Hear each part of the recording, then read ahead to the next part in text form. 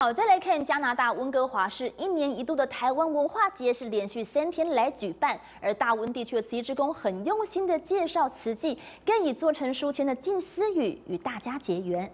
多你多的东西可以给别人，你愿不愿意？小女孩听了慈济志工的解说，姐妹俩也学会了布施。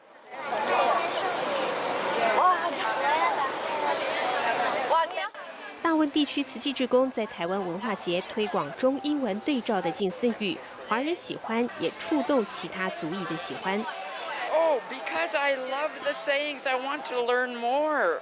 And when I read these, they made me feel very good and made me want to be a better person.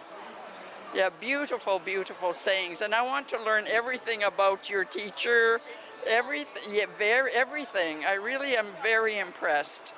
把感动永存心中，把快乐大方分享。慈济列车上满载快乐，要运往需要的地方。就像这一个个毛线会被认领的民众编织成围巾，在今年冬天来临时温暖助人。大爱新闻之声美职工梁玉燕、沈金泉、吴承志加拿大报道。